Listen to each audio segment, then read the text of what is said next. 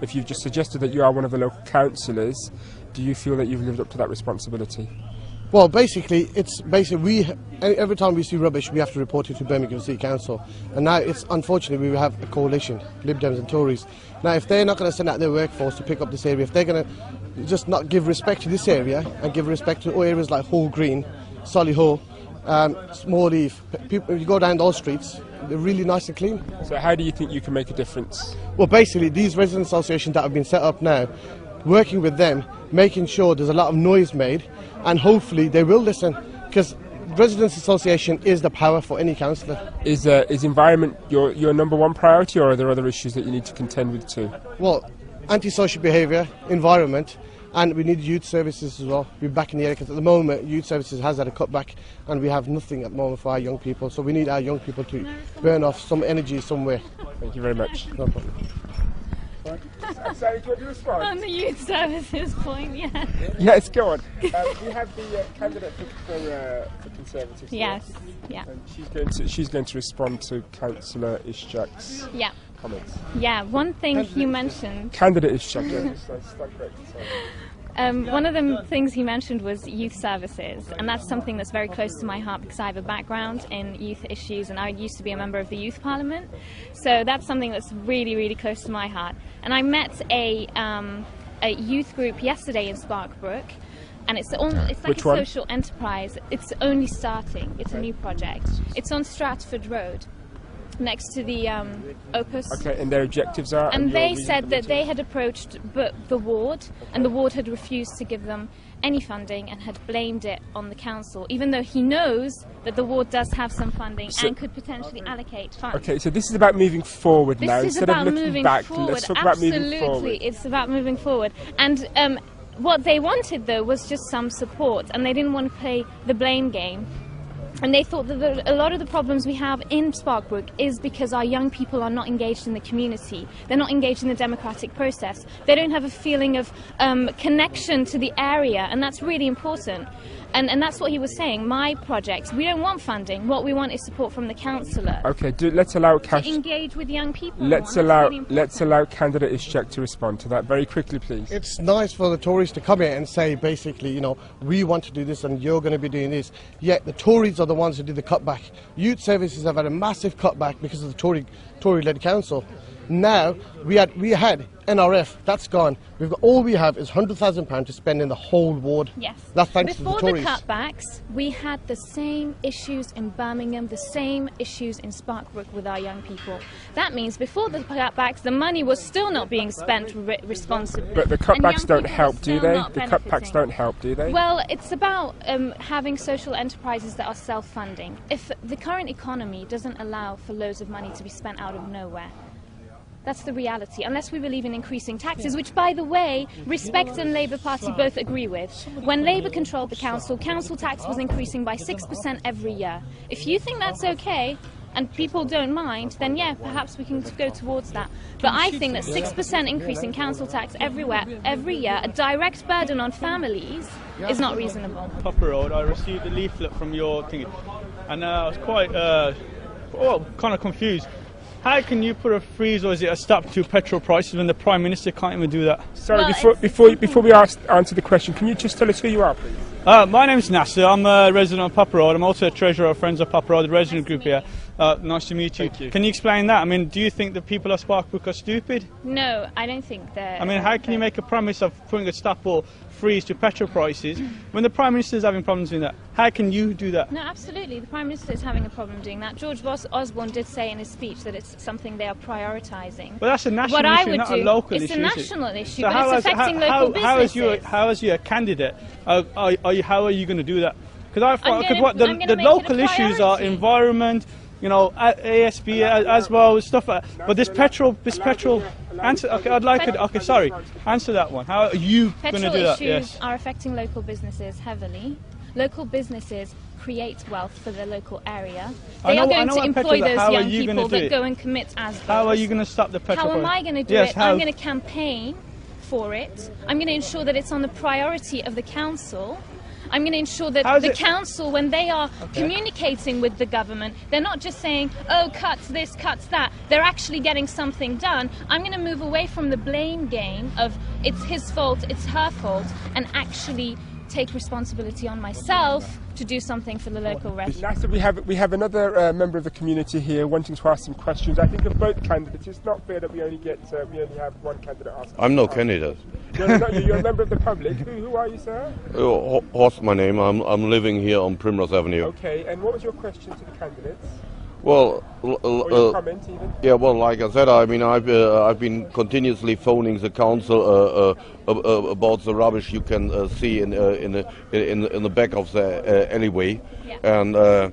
Uh, And had no response. Uh, uh, yes, I had uh, I had a response, uh, and the uh, the, uh, the response uh, was uh, they asked me uh, they asked me wh- whether uh, whether there were street lights, and I said no, there are no street lights, and and the response w- was uh, well, if there are no street li- lights, it's none of our business, uh, and. Uh, Oh, I see. I think it's because it's a private land and private areas. are Actually, it's not. It's not a private land. It's Is actually a no. It's public land? highway and it's maintained by Well, the if public. you'd give me details of your number and I can contact them on your behalf and find out what we can do about Yeah, that going fine, thank you. forward. So if you please give me your number. yeah, no problem. Not, not, I'd be happy to that. do that. But just in principle, I think that the, the point being made is why why are we having to why are we getting to the point where the only time we're seeing a response from the authority and from the services is when you're here Yeah. and the, the, the gentleman, the member of the public who pays his taxes, who's committed to the environment, well- well- who's keen to, to have a clean environment. The issue is having- I'm not I'm not, not a, I'm not an elected responses. councillor. Yes, bear that in mind, please. I'm not an elected councillor. I've not really. Um, I mean, everyone here is treating me like I've been an elected official. I'm not. If you have issues, the main issues you should be going through your ward and councillors. But of course, I'm happy Well, to like deal I with said, yours I, I, either way. I, I, I rang up the uh, Birmingham City Council. What, what, You what- should, what- what you should do is go through your councillor. Your councillor is responsible for every local issue you have and every then oh, issue you have with the council. Candidate- candidate Absolutely, you don't see councillors. Where are they? Candidate Sarah has committed herself to helping you in this course. Can I ask who is who is who are you, sir? Adil Rashid, And, and who do you Liberal represent? Democrats. Okay, so can you tell us a little bit about yourself and um, what you're doing here? Well, obviously, I'm one of the candidates. I've Okay. been living in Sparkbrook over 30 years, Okay. and I'm part of the community of Sparkbrook. Right. So what's what's your priority for this area? Well, taking Sparkbrook out of deprivation for us. start. And how do you think you're going to do that? Well, it's by not electing Labour councillors. So if we don't elect Labour, we'll we'll take the organise the department the Provided, environment out of provided, provided Absolutely. we work for it. Uh, because I mean, we've had Labour rule there for so long. It's always been a deprived area. So how will, how will how will a new or a different coalition take us out of deprivation? What exactly will you be doing? Supporting local business. Well, well, if you if you've got a local resident, Are you both of the same party? no. we're in coalition. No, but I agree a lot. You know, and that's really important. Rather than playing the blame game, we should be working together as, Sure, so as, would you- as people who genuinely would care. Adam to himself so we know what he's saying? Yeah, I was just saying, uh, if uh, if you've got a local resident elected, Yeah. Somebody you can see on a day-to-day basis, and not run away and never to be seen, like some of Labour councillors. not, it's not all about Labour. We've had respect councillors, they're local. I mean, Uh, yeah, you- you, you did did answer the question. He asked you, what are you going to do? What am I going to do? Yeah, how are you going to make Sparkbrook better? Answer that question. Well, if everybody's willing to work with me, like we're working today. yeah, but what are you going to say? Everyone, okay, what are you going to do? well, it's not a one-man job. Fine, I'll be elected. Yo, I'm going to elect you as my councillor. I expect you to do something for me. What are you going to do? What do you expect me to do for What you? What do you think I want you? You should know don't what know. the You could want. have a different issue. you should know what the people want. You tell me. Exactly. I'm asking you. What do you want? Environment, go on. What are you going to do different?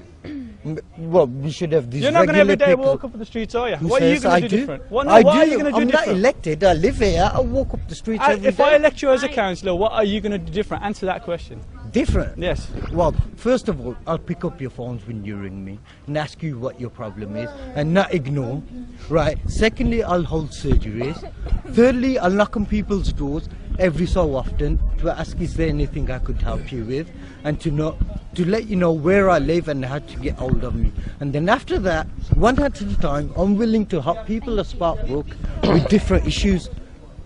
You're right, we've had respect, we've had labour. Why were anybody to be seen? we need to uh, make some sort of arrangement, at least to to bring awareness to the uh, to the people who are making these uh, flying tips or these uh, creating rubbish in here to keep it clean. But so far, we are keep uh, we are keep telephoning Uh, the council office, the responsible people, the engineers or the environment people, and they are giving the sweet talks on the phone, but in fact, nothing happening. Mm-hmm. No action is taken. Mm-hmm. Mm-hmm. The other things we have is not building there. Yep. They cannot do anything without building. It's lying down there empty for two years. All the rubbish, all that cloth people bring, if it's not goes in, Who owns the building? uh, is, Private.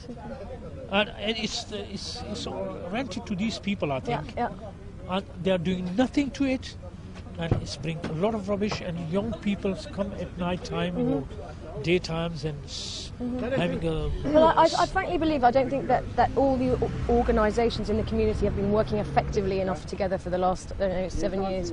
Also, I don't find it that surprising that when you phone up um, Fleet and Environmental Waste, you are given a very correct, I imagine, very professional service, but actually in terms of delivering, that's not happening. This is a Tory Lib Dem council who's been making cuts across the board, and until actually Labour returns to power in Birmingham, you won't see that investment in environmental services, fleet and waste management. You won't see it. Um, there needs to be better containers for residents in these streets, especially the people of Sparkbrook. I mean, like nowhere else in the city, these are these are households often with 10 children in them. They want to recycle. It's a very big Islamic value recycling. If you have 10 children, each drinking a pint of milk a day in plastic bottles, and you have a rubbish recycling collection for plastic bottles twice a week, think of how many bottles you're going to have to fit into one, just one of those small containers that Birmingham City Council provides. The people of Sparkbrook need effective and correctly sized waste containers, and I have no doubt that they'll be able to manage their own rubbish. who can we complain to? I mean, the, You need to change the council to do since- with since- every community organisation working effectively together. Yeah. And that means everyone, not just your councillors, every community organisation and every individual within it pooling together for the interests of that community. This is my.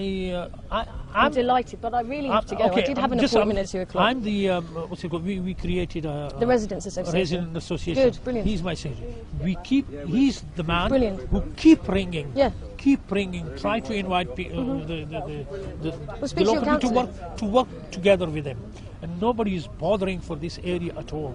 The, the youth people, the, there is no facilities for the youth. This man, is working day and night Yeah, voluntarily. sure, sure, sure.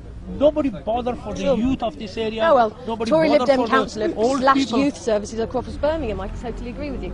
You- Really nice to meet you, but I do have to go. Victoria, Okay? can you just tell us who you are for the, uh, for the camera, please? I'm Victoria Quinn. I'm the Labour Party candidate for Sparkbrook. Thank you. Sparkbrook Neighbourhood Forum invites you to family fun Sparkbrook in Unity, from 11am to 4pm, Sunday 30th October at Farm Park, Sparkbrook, Birmingham. For more information, call 0121 772 1224.